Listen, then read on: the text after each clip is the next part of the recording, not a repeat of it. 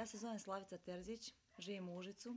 Inače sam parapsiholog, osoba koja vidi sadašnjost, budućnost i prošlost i nalazim nestale ljude. Kaži mi, kada si saznala za tu svoju sposobnost? Pa bilo je to dosta davno, imala sam nekde oko tri po godine, da sam dosta mala tada. Imala sam ovaj, taj osjećaj, nisam znala da ga ja lično posjedujem. Volila sam da budem više u samoći, nisam imala tada ni tehničke stvari, ni televizor, nikakve aparate da mogu da čujem šta će se dešavati u Srbiji. Vidjela sam da će Tito da umre, čak me tad jedna svetlost obasijala, imala sam takav osjećaj da vidim tačno precizno stvar šta će se dešavati u životu. Vreme sam tada mogla da vidim, rekla sam će Tito da umre za 15 minuta, da je na operacijnom stolu i da Srbija propada.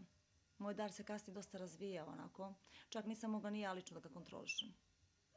A kaži mi, kako si vidjela da će Tito da umre? Pa svi me to pitaju. Pa imala sam taj osjećaj, dobila sam tu informaciju, imala sam taj osjećaj kao da sam ja na njegovom mestu. Osjetila sam taj bol. I takav osjećaj da nisam mogla da ga kontrolišem. Imala sam informaciju, tačno sam znala primjer za 15 minuta da Srbija propada. Čak sam se šala tako sa mojim radnicima koji su bili to u to vreme tu. Čak su oni merili vreme, nisu imali a, ovaj, ni radio, ništa, doneli su. Bila je tu moja majka, moja porodica. Ovaj, I oni su, moja radnik rekao, baš me zanima, ajde da vidimo da li će Slavica pogodi, da li je to tačno. Mislim da ih ja, da se šalim sa njima, da izvezu, da izvitla onako. Ali imala sam tu viziju jako, imala sam taj osjećaj onako. I čak nisam a, vremenski kasnije, kad sam bila u školi, ja sam to potiskivala, to, to sve u meni više i više razvijalo. Imala sam smetnje sa zdravljem tada. Uvijek kad imam taj osjećaj, uvijek me zaboli glavu, sve što čudno dešava. To su jaki senzori meni. I direktno sam mogla da vidim osobi kakav je život čeka. Znači, sadašnjost, budućnost i prošlost. Čak u školi sam govorila drugarca kako će se udati, kada će koja školu završiti, šta će se dešavati u njihovom životu. Čak sam sebe rekla, sve ćete se udati, ja ću ostati zadnja. Imaćete svoju decu, bit će vam deca velika. I sve se to obistinilo kroz budući njihov život. Da li se dogodilo nekada da si pogrešila? Ne. Može se dešava situacija vremenski, znaš, pošto sam ja vodolija u horoskopu, pa idem ispred svog vremena, a dosta imam jake vizije koje, kad one uh, naviru u meni na dolaze, moram sve da kažem u to jednoj minuti, da kažem tako. Mnogi klijenti kažu, Slavice, mnogo sam informacija dala, ne znam tačno šta, mi se, šta si mi sve rekla.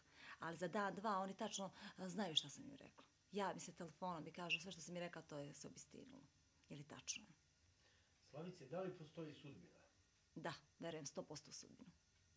I smatram da niko ne može da promeni sudbinu. Ljudi se samo zavaravaju, znaš. Pa da li je to uslov na osnovu koga ti možeš da pogodiš sve šta će da se dogodi u budućnosti? Sudbina koja je nepromenljiva. Da, to tvrdim glavom svojom. I u čemu je onda poenta naših života ako mi samo moramo da proživimo svoju sudbinu? Pa sad to je pitanje ovako zanimljivo. Ovaj, mi imamo sudbinu svoju, bez obzira koliko je mi prihvatamo i koliko je ne želimo ili želimo. Mi imamo zapisano vreme što će nam se desiti. Samo što smo mi mnogo sujetni tvrdoglavi. Znaš, mi želimo to da promenimo. A ja sam imala čak klijente kojima kažeš da će se tragedija saobraćajno udesi ili da će se oženiti razvesti ili da će im pući firma, oni kažu nema šanse, ja sam dobar radnik. Znači, uložila sam sve pare, ne može tome da se desi. Jer ja u to ne verujem. Ali nakon dve godine, kako im ja napišem na papir da će se to desiti, to s njima obistini. Čak se oni lično iznenađuju kako im to pogađa. Može nekako ta sudbina malo da se promeni pa da bude bolje? Može da utičeš na nju, ali uh, ne sto posto. Neke stvari možda promeniš. To sve zavisi od čoveka kakva si osoba. Ali ono što sam ja doživjela za 12 godina moga rada sada sa klijentima, pogotovo te, na primjer, udese, ubistva, uh, poraz u njihovoj poslu, u brakovima. Znači, ja sam im to rekla i rekla kako da se ponaša, da ne dođe toga, ali nisu mogli da promene sudbinu. To se desilo ipak. Da li može da daš neke primere? Pa evo mogu da dam primjerak jedne poznate osobe iz Užica, ne bih želala imena imena. A, videla sam ubistvo, na primjer, koje je za mene ostalo fascinantno, lično sam ga ja proživjela na svojoj koži. A, čak mnogo ljudi iz Užica i sa Zlatibora znaju to što sam rekla. Mnogo ljudi je ovaj, vidjelo to. Ja sam rekla mom klijentu četiri godine ranije da će imati tešku sa čekušu i da će ovaj, potegnuti pištu, da će ubiti mnogo dečka poznata ličnost u ovom gradu, da će imati teške probleme, čak da će napustiti medicinsku školu, iako je dobar student dobar je džak bio tada da će oći u Italiju, što on rekao za mene, to nemoguće meni da se desi. Ja nemam oružje, ne postoji tako nešto kod mene. Ja sam rekao, ne vidim da ćeš završiti srednju školu, ti nakon druge godine padaš. I nikad nećeš doći više u Ušice, doćeš samo u prolazu. On je rekao da to nemoguće, čak spremio njegovom majku, lično sam rekla. A da bi prošlo jedno izvesno vreme, upoznala sam dečka koja sam ja izbjegavala da upoznam. Nisam žela da ga sretnem. I jedan, jedan moj drugarca rekla, ne, zanima, me, zanima me tvoj momak da mu gledam, ali tvoj me kum uopšte ne interesuje. Kad sam došla da mu gledam, on je počeo mene da ovaj, provocira malo, onako nije mogu da veruje što mi ja pričam. I ja sam opisala kompletno događaj kako će on da izgubi život. Imala sam tu smelost, na primjer, iako je on poznat van zakona, da mu kažem šta će mu se dešavati. I rekla sam, čuvaj se. Čak sam rekla da, da će e, da pogine ispred svojih 30 ljudi koji su iz Užica. I opisala mesto i kafić gdje će da bude to ubistvo. Ali šest mjeseci ranije. Znači sve sam opisala, znači i da će ga zvoniti rođak na telefon 5 minuta i da će 5 minuta biti okončan. Pitala sam ga da li te nekad boli ruka i glava. On kaže ne boli me ništa. Ja kažem vidiš boleće te. Rekla sam čuvaj se dva hica, dva metka će ti presuditi taj dan. Čak u kolima koji me dovezao, bio je to golf trojka, Rekla sam, ovaj auto je kupljen na strani, na stranstvu. Rekao, vidim ovaj auto pun krvi. Tu noć je bio s tim kolima, tu noć je dovedem u žušku bolnicu i rekla sam, umrećeš na operacijnom stolu. I tada sam jedova tešku temperaturu, gorlo je moje telo. Ja sam proživljava njegu smrt. I tačno je tako se desilo. Imao je dva hica, dovezli su ga ovdje, na nogama je došao do učke bolnice. On nije verovo da njemu metak prošao kroz ruku. On kaže, povredila me neka budalo ruka, nije ostio bol glave. Nešto mi boli glava, kaže, ne znam zašto. Nije obratio pažnju u tom momentu. I umro je u Beogradu na operacijnom stolu. To je bilo za mene najveći poraz. Znači, to što se meni desilo tada, ja sam znala da ću da poginem. A rekla sam, nemoj ideš kad te budu zvali. Ali nije mogo da ispegne smrt. Da li ima nekih vedrih tema koje si ti proricala? Pa ima dosta vedrih tema. Ajmo neki primjer. Evo ja, moj drugar, ovaj, sadašnji drugar, da kažem, klijent koji jako veruje meni i prati moj posao već 3-4 godine. Rekla sam da će napustiti svoju kuću, iako je jedinac, iako se bavi privatnim poslom, jednu kafanu i da će otići eh, u jedno mesto ovaj, nedaleko od Indije, da će se baviti, uh, da će biti trgovački putni, što za njega baš bilo onako čudno, pošto je konobar po profesiji. I sve mu se to desilo u roku, na primjer, za nepunu pola godine, znači godinu dana, da kažem sada. Znači, predala sam mu kilometraža, kako će otići svoje porodice, čak kolika će mu plata biti, kakav će auto voziti, šta će mu se dešavati u njegovom životu sadašnjem. Čak sam rekao da će se razvesti jednu čjerku sa kojom sad trenutno živi. I sve mu se to desilo u roku za šest mjeseci. A neka od poznatih ličnosti? Pa jedna ovako moja ovako omiljena pevačica Maja Nikolić, rekla sam je da će 2001. godine u Svetu Plus eh, da će da se uda ponovo, da će imati svoju porodicu, eh, da će ovaj dobiti sina, da će se udati čovjek koji nije odavde, da će otići na stranstvo pa će se ponovo vratiti ovdje u Srbiju i da će snimiti jako dobre CD-ove. Znači sve se to desilo, evo, 2001. godina čak ima mi ovaj, napisano to ovaj, u Svetu Plus, to je bilo, mislim, jul mesec 2001. to sve obistinu. Čak su me njena oso, njene osobe iz njene bliske, ovaj, kako da kažem, iz bliske porce zvali su me, čestitali su me na tom pročanstvu. Imala sam prilike čak upozna, da je upoznam lično. Je li se javljala kasnije? Pa jest, imam kontakt sa. Često ideš po manastirima, pobožna si, pa mi kaži nešto o tome. Pa manastir je mnogo volim. Od 95. godine idem u manastir. Da sam imala i mogućnosti finansijsku, bila sam na ostrogu 20 puta do sada. E, volim dosta manastir Đunis koji za mene ostavlja ovako jedan veliki trag u mom životu. Kumanica. Ispričaj mi malo ti manastir. Pa ovako, volim ostrog i ostrog mi dosta pomaže, psihički i fizički onako. I smatram da se gore mnoga čuda dešavaju. Znači, postoje ljudi koji veruju u to, postoje ljudi koji idu iz radoznalosti, turistički da kažem. Ali ne dam za pravo da nijedan čovjek koji gore noći da vam se nije neke stvari desile, znači pozitivno, kad je se vratio na ostrog. Verujem u ta čuda, čak sam imala priliku da vidim ovaj, Svetog Vasilija u noć, negdje oko 12 sati, 3. Ja sam bila čoveka uh, koji je prozračan u beloj jednoj mantiji. A, bili su puno moji prijatelji, bilo tu i niko nije mogao da vidi tu osobu. Bila je pet minuta, stajala stajao je gore na vrhu ostruga i ne stoje. Verujem u čuda, verujem u isceljenje. A najveći moj manastir koji je najviše obožavam, to je manastir Đunis, pokro majke Božije.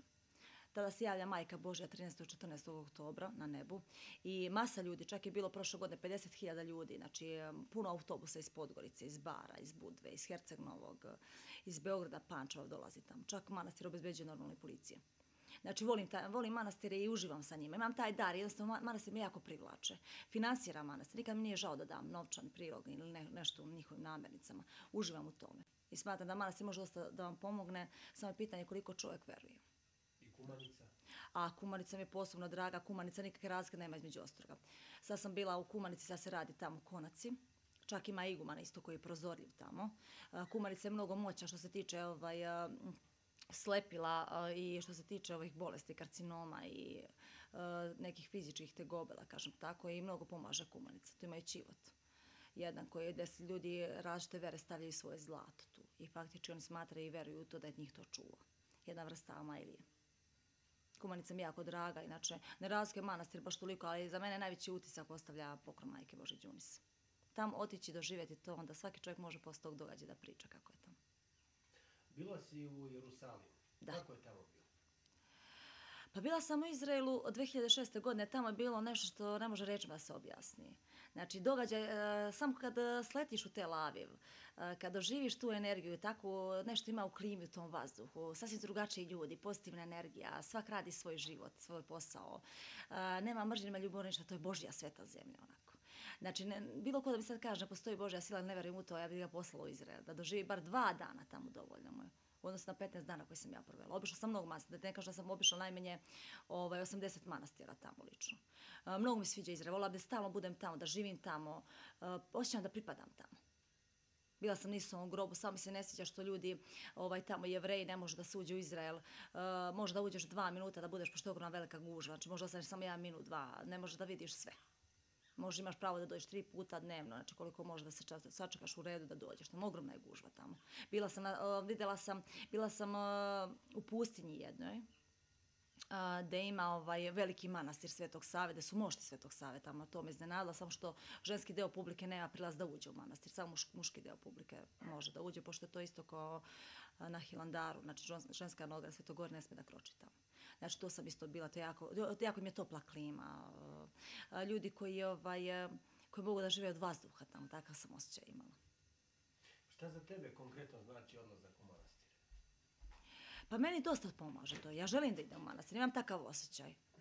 Uživam da idem u manastire, volim da, sa, da pričam sa igumanima, sa duhovnicima tamo, obožavam njihove ikove, njihove freske, uživam tamo da idem. Znači, to je neki moj lični osjećaj. I manastir mi dosta pomaže zato što ja kupim negativnu energiju od ljudi i često imam malo problema sa glavom. Znači, često me boli glava i često sam nervozna. I onda kada idem u manastir, znači sva moja negativna energija, kad se čitaju molitve, tamo spada. Znači, prolazi. Znači, osjećam se kao da sam ponovo rođena. Ehm, kako je najlakše pomoći ljudima kako u stvari čovjek treba da utiče na život da bi on sam mogao da pomogne sebi? Jer u stvari ti samo proričeš, a tako ti ljudima... Ne pomažem im ja i pomažem im. Kako, na koji način konkretno? Pa ja imam taj moć da vidim uh, što se tiče njihovog života, u čemu je njihov problem. Uh, šta im se dešava, ko im pravi probleme magijski, da li imaju magije ili proklestvo. Znaš, ima mnogo ljudi koji imaju proklestvo koje ne može, na primjer, niko da skine. Aj priče mi malo o magiji.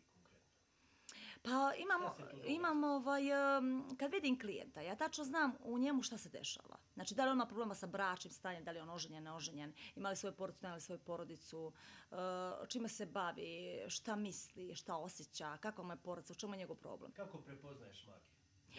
Eh, pa vidim odmah u očima, znaš. Meni su uh, argument mog gledanja je oči i glas. Znači, mogu tačno da znam uh, telefonom, kad bi čovjek se javi koja ne poznajem, koji nije odavde s ovog kraja, kad mi se javi da kaže da ima neki problem, vidi mi, interesuje me nešto. Ja vidim tačno čemu je njegov problem. A najviše vidim po očima kad dođu kod mene lično. A šta se događa tim ljudima koji su? Pa to su ljudi koji su izgubljeni u prostoru vremenu kompletno. Oni nemaju nikakav cilj, oni su totalno u nekoj čaurenoj blokadi, znači spremni se da su ubiju, upadaju u psihičke depresije, onako tresu im se neki puta ruke, pokušali su samoubistvo ili misle da se ubiju. Imaju razrazni ovaj, njihovi simptomi. Znači, tačno vidim kakvi su, šta im se dešava. A ko su opet drugi ljudi koji se bave magijom? Pa žao mi je što moram da kažem da su to ljudi koji su jako bliski, znači pitanje je familija, komšiluk, eh, ljudi koji su tatkorečivi, znači koji su zlobni, zavidni, nakon. Čak se iznenađujem kod nekih običnih ljudi koji uopšte nemaju neki kapitalni privatne firme, a imaju ogromnu količine magije. Znači zavidni zato što samo što su oni jako lepi, zgodni, uspešni u nekom svom poslu. Uvijek im se desi situacija da im to pravi, na primjer, čak imam slučaj da im pravi majka, sestra, kumovi, prva komšika, čak i muški deo publike im pravi majka komširu, što mi sad skoro iznenadila na par slučaja koji su mi došli su mi klijenti, baš sinoć sam ja imala težak slučaj. Ovaj, žabi što im pravi magiju tako i oni se kunu posle u decu da im to nisu pravili kad ih napadneš, znači kad ih izazoveš i kažem, znači što mi ti praviš magiju, ne mogu to da trpim. Oni se kunu u decu, svoju porucu, ali ovaj, eh, kunu se da bi samo opravdali svoje sredstva. Možeš li da mi ispričaš neki primjer, ne moramo spominjati imena, da je neko od klijenata dolazio i bio je pod dejstvom maki. Šta mu se događalo?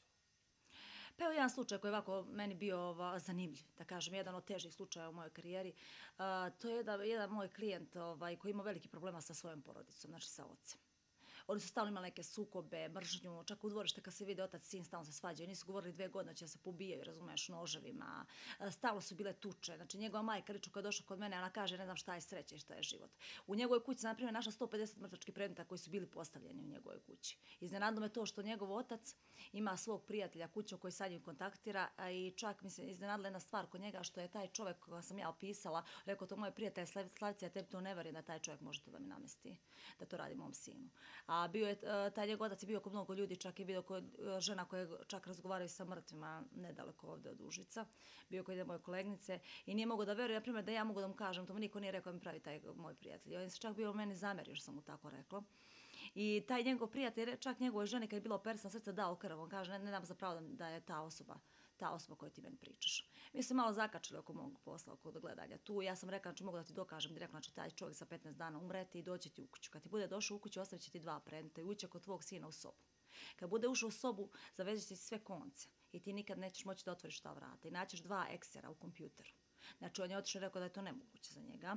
Čak i njegova supruga koja je prisutna bila u mom gledanju, nije mogla da veruje da to može da se desi. E, kad, su, kad se taj događaj desio i taj čovjek je posle 15 dana umro, ja sam rekao će zvati njegovog sina da ga on vozi njegova u stvari porodica. To sve desilo, na primjer, za 15 dana. Znači, to je živa istina, a to se desilo nedaleko ovdje. Ne mogu imenovati mjesto gdje je tačno, ovaj, pošto moj klijent normalno traži diskreciju.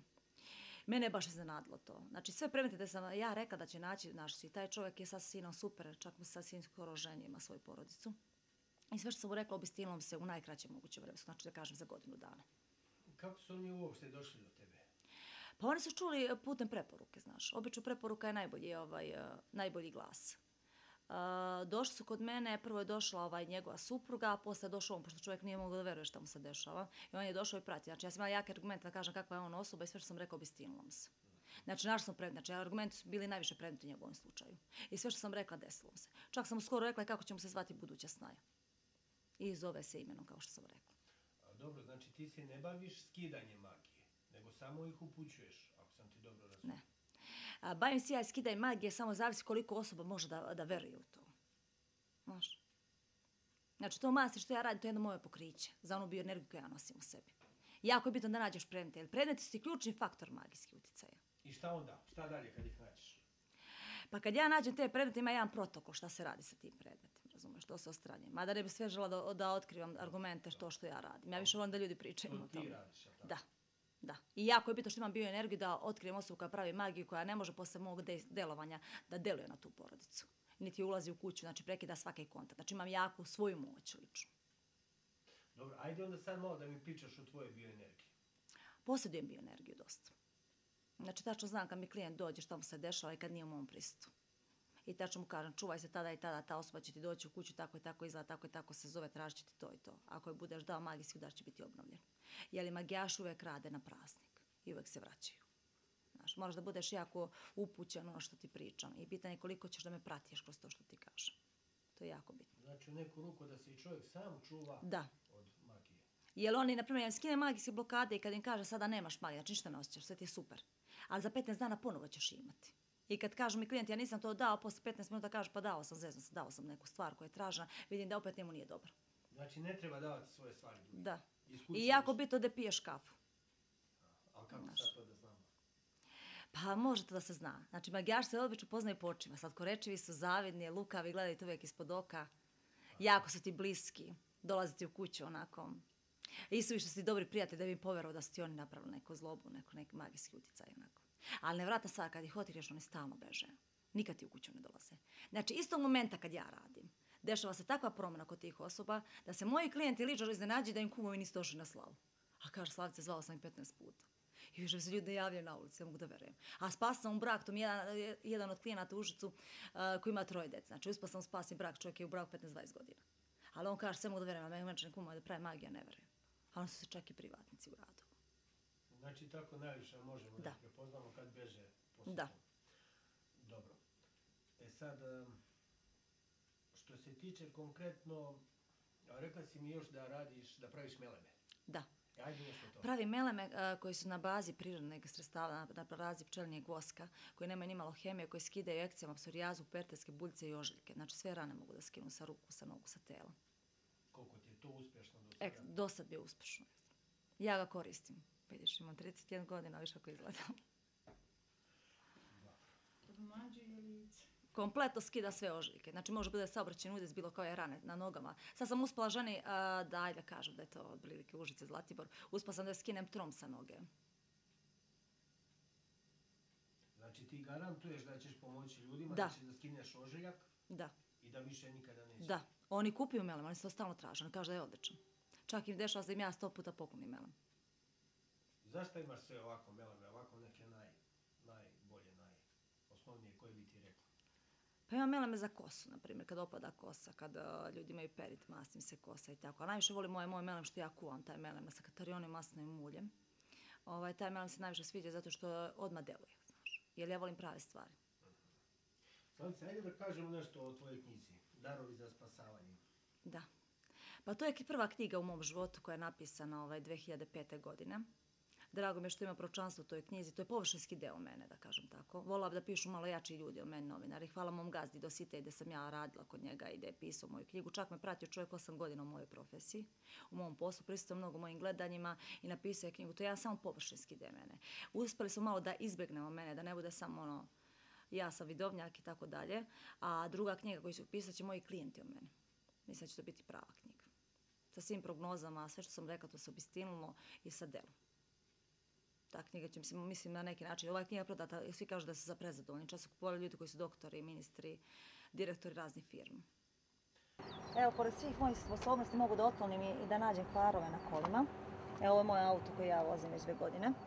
Imam problema sa motorom ovdje, imam problema sa ovom raznom kapom, imam sam malo problema sa felnom i sa kočicama, sa špaklovima. Znači mogu tačno da vidim kvara, ne moram čak da plazim mojim kolima i tuđim kolima, tačno mogu da vidim šta se dešava. Znači šta se, koje kola čovjek vozi, kako su mu vrata, šta mu se dešava sa motorom, gde mu curi ulje, kakva mu je situacija sa antifrizom, sa akumulatorom, sa auspuhom i tako dalje. Kako ti to znaš? Imam taj dar, mogu da vidim. Tačno znam čovjeka koja kola vozi, kakva je situacija, znači na kamionu, na, eh, na kombiju. Znači mogu da uđem čak u kola, da tačno znam kad će da mu crkne motor, što tamo se dešava sa kolom. Ajde da vidimo ova druga kola koja nisu tvoja.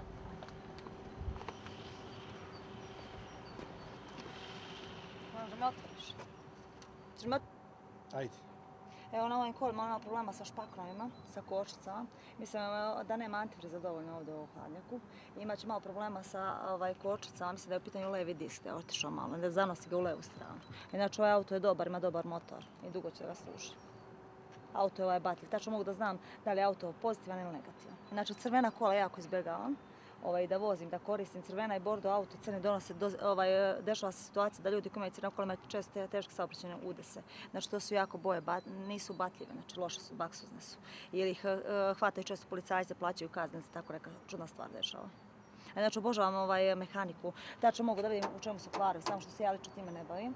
Ali sve što napišem, spisak svih kvarova na kolima i dam automehančaru i pošljem mog klijenta kod njega, sve se desi onako kako sam rekla. Znači ti ne moraš da otvoriš haubu Ne moram, mogu sve da vidim, da. kao pravi automehančar. Da. Inače, obožavam da otvorim dijagnostički centar za kola. Uživam u tim popravkom, samo što se time lično ne bavim. I vidim kvarove što automehančar ne može da vidi. Znači, tačno mogu da kaže šta se dešava s mojim klijentom. Možda samo da mu čujem glas telefonom i da kaže Slavci se na putu, imam taj i taj kvar. A možeš ti recimo ovako da kažeš mehančaru šta fali da on ništa ne traži? Mogu, mogu. Mogu sve. Da li se dešavalo neka to? Pa jeste, inače automehančar svi dolaze kod mene, ali su malo sujetni. Sujetni zato što ja mnogo vidim više kvarova nego što oni mogu sami da nađu, iako su oni završili tu profesiju. Slavice, od tebe su pisali mnogobrojni časopisi. Da. Pa mi reci nešto o tome. Pa prvi put je pisao Dosi X, to je bilo ovaj, 99. godine. To je bilo pročanstvo u narednih pet godina. U tom pročanstvu dešavalo se sva, sve događaje u Srbiji što se desilo, privatizacija Srbije, znači ljudi su mi se smijali kad se rekao će propasti prvi partizan, valjonica, da će sve e, državne firme biti privatne, da će ljudi mnogo ostati bez posla. Oni su mi govorili da sam previše to malo preterala. Rekla sam za Vuka Draškovića, pokušao ubistva, da će imati tešku saobraćajku tamo u Ljigu, mislim da je Ljig bio, da je bio u ubistvo, ovaj, u Budvi sam rekla njegovom poslom saradniku da će imati ovaj, pokušaj ubistva da će ostati živ. Za Zorana Đinjića sam rekao će pogledam šta će se dešavati za Arkana, za Mijegu i tako dalje. E to se obistinilo sve u narednih pet godina, posle toga je bila Zora Sumraka, bombardovanje, kada će biti, i šta će se bombardovati, kada će se završiti, da li će ponovo biti bombardovanje i tako dalje. A posle toga je bila ovaj, Svet plus uh, poznatim pevačicama Maji Nikolić, Jovani i ovim drugim estradnim umetnicama. E, jedno što mi se najviše sviđa ovako, to je bila ovaj, revije D za koji sada radi. Znači, Uška nedlja, politika magazina, primjer, što mi je donala najveću slavu popularnost. Inače, ja tvrdim i osjećam to da pripadam Kremlima, Tarabićima, čak su mi oni komšije gore, da imam taj dar od ozgo. I osjećam se kao oni što su pričali, pričam i ja. Kako to možeš da tvrdiš i da osjećaš? Pa osjećam, na primjer, oni su pratili vreme, šta će se dešavati u Srbiji. Događaje, političku scenu, vlast na političkoj sceni, ubijstva tako. Osjećam, na primjer, kad, kad kažu da, da i vetar zna da govori. Vreme, osjećam promjenu vremena, tačno znam kako će vreme biti, kako će leto biti, kako će biti zima. Osjećam gore da pripadam. Znači, kada godam u Kremna, pošto su oni faktički prve komšije, osjećam da taj dar dolazi isključivo od ozgo. Čak me je zovu mala Tarabićka u, u politici magazin. Pa dobro, evo bližimo se kraju našeg razgovora Slavice. Ajde kaži šta očekuje Srbiju znači u nekom narednom periodu. 4-5 godina.